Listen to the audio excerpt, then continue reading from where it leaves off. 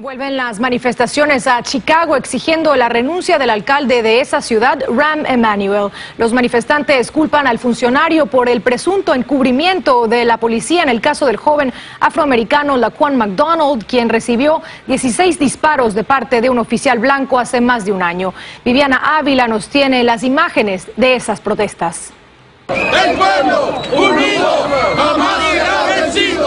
Cientos de manifestantes se lanzaron nuevamente a las calles de Chicago en plena víspera de Navidad. No peace. Lo hicieron en la principal avenida comercial de la ciudad para interrumpir las compras de este día y exigir que el alcalde de Chicago, Rahm Emanuel, renuncie. Porque le tienes que dar a los ricos donde más les duele cuando no te hacen caso al pueblo.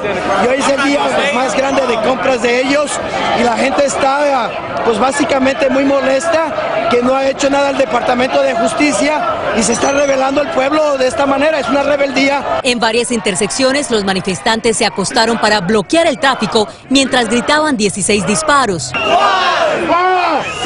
El número de veces que el agente Jason Van Dyke le disparó al afroamericano Laquan McDonald en octubre del 2014 y cuyo video solo se hizo público hace un mes por orden de un juez y que ha desatado indignación general. Ya se termina la corrupción política que existe aquí entre la ciudad de Chicago, porque mucha gente inocente, especialmente los latinos y los afroamericanos, estamos afectados por la violencia del departamento de la policía. Y aunque esta manifestación es en contra del alcalde de la ciudad de Chicago, Emanuel, él se encuentra de vacaciones por ahora en Cuba con su familia. Pero esto no detuvo a los manifestantes. Pues qué pena que esté de vacaciones en Cuba y no esté arreglando el problema.